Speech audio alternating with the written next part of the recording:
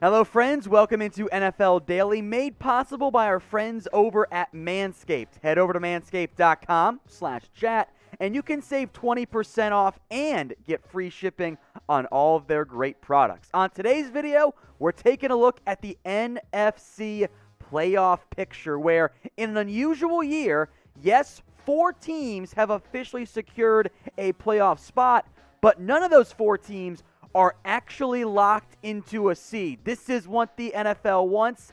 Every single team has something to play for in week 17. As of right now, Green Bay, the NFC North champions, are in the driver's seat to get the number one seed and the only bye in this year's playoffs for the NFC. Saints and Seahawks still competing.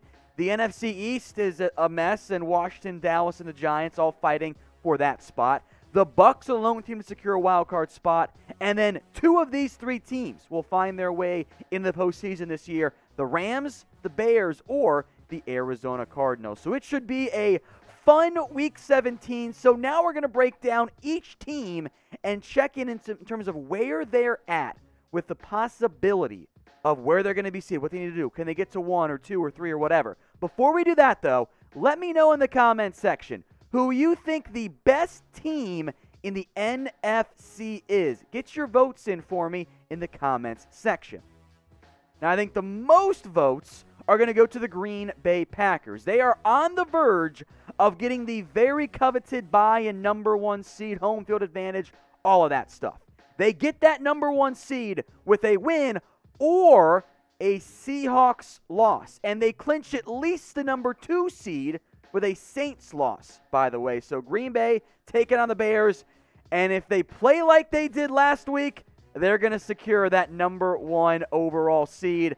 Aaron Rodgers, 21 to 25, four touchdowns. How about Davante Adams? Absolutely going off. Green Bay right now looking like one of not just the best teams in the NFC, but in the NFL.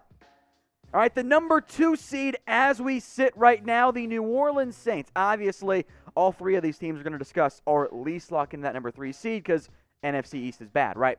The Saints secure that number one seed with a win and a Packers loss and a Seahawks loss. They secure the number two seed with a win, or if Seattle just loses, which makes plenty of sense there.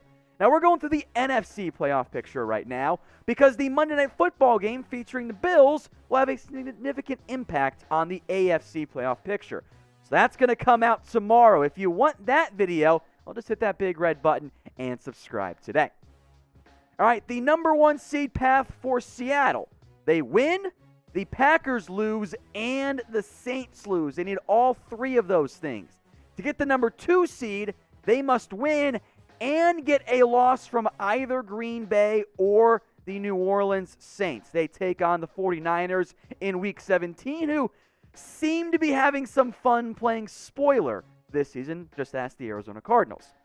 So, who ends up getting that number one overall seed then? Type GB for the Green Bay Packers, NO for the New Orleans Saints, or SEA for the Seattle Seahawks. This will be the pinned comment on today's video. So if you get the ad break here on YouTube, scroll on down and get your votes in.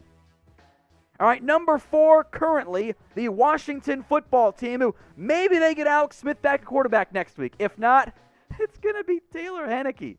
Oh, goodness, Washington. Not exactly ideal there. But they're in a very easy ish situation. All they got to do to secure the NFC East and go 7 9 and win the division and Ron Rivera's first year as head coach is beat Philadelphia, a team with nothing to play for. They have been eliminated thanks to their Week 16 loss. If they beat Philadelphia, they win the division. That is all they have to do. If they lose, though, they are eliminated. So who you got winning the NFC East? There are three teams alive still, somehow. Washington, type in a W. Cowboys, type in D for Dallas, or the Giants, type in N for New York. Washington makes the most sense, but we'll see what happens on Sunday. All right, the Tampa Bay Buccaneers back in the postseason for the first time in a long time. Worst case scenario, they will finish with the number six seed in the NFC wild card or uh, uh, NFC playoff race. If they can get the number five seed and get the right to play the NFC East winner, or I should say NFC East not loser, with a win or a Rams loss, and they're playing a pretty bad Falcons team. It should be number five from Tampa, but as we've seen this year, well, crazy stuff has a tendency to happen.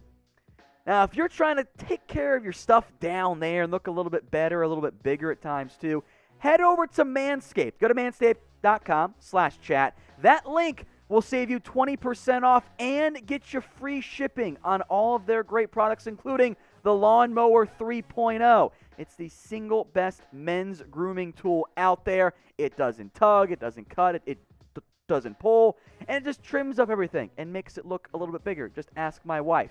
Manscaped.com slash chat. That link's in the comments and in the description. 20% off and free shipping when you use that URL. All right, number six, the LA Rams, who they might not have Jared Goff. Uh, it might be John Wolford because 2020 is weird, man.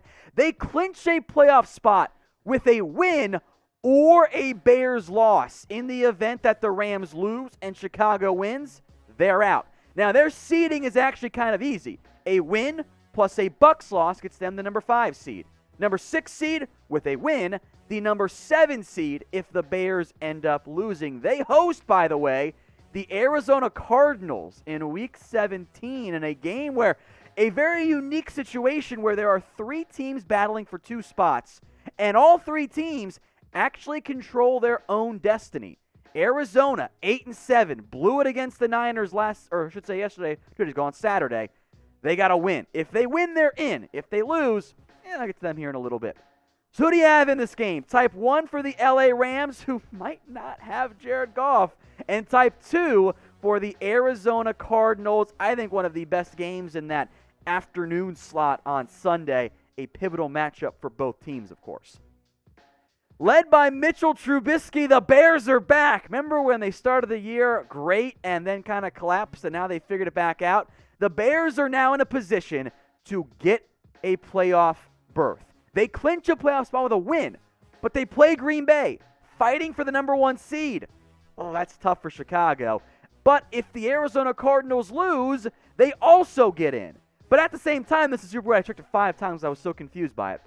To get the number six seed, the Bears have to win and hope the Rams win. So in the end, the Bears are probably hoping for the Arizona Cardinals to lose to secure a playoff spot no matter what. But if the Rams lose, it's just it's absolute chaos right there, my friend. So it's all it's all chaos in terms of the the Rams Cardinals games could help the Bears either way, but they should just take care of business and just beat the Packers there. All right, so the first team on the outside looking in, right? The Arizona Cardinals clinch a playoff spot with a win. They lose, they're out. They can get the number six seed, by the way, with a win and a Chicago Bears loss. They play the Rams in week 17, but one of those wild card teams, even with the expanded postseason, is going to be on the outside looking in. So who will miss the playoffs? Type R for the Rams, B for the Bears, or C for the Arizona Cardinals. We'll wrap things up now with the NFC East. The Cowboys, winners of three straight, are somehow alive, even though I had written them off for dead weeks ago. They clinched the NFC East with a win and a Washington football team loss. They, of course, go visit the New York Giants in week 17 and kind of a almost brutal situation for both of these teams. Whoever wins is still alive and then they got to wait till Sunday football to see if they're going to make the postseason because it's going to depend on Washington for these two teams. Winners eliminated, loser waits a couple hours to see if they get to make the playoffs or not. And then there's the Giants, who, fun fact, based on the odds, action and percentages using you know all, all the, the nerd math and stuff, have better chance of making posting than Dallas because they're playing at home. And they clinched the NFC East just like Dallas with a win and a Washington football loss. If that happens, history will be made. No team in NFL history has won a division at 6 and 10, but if things go that way for the Giants, they'll be the first ones to do it.